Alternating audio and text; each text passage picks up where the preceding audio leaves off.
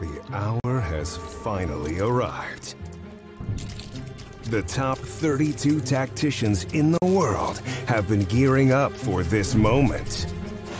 Pengu, show us the way. The Gizmos and Gadgets Championship is here. Three days of intense global competition will bring you matches like you've never seen before. Each match will showcase bold, imaginative experimentation and new outside-of-the-box strategies. These highly skilled tacticians have perfected their games, practiced their strats, and now they're competing for a piece of our biggest prize pool yet. And a shot at TFT Immortality. But only one can win it all and be crowned the best tactician on the planet. It all starts right now.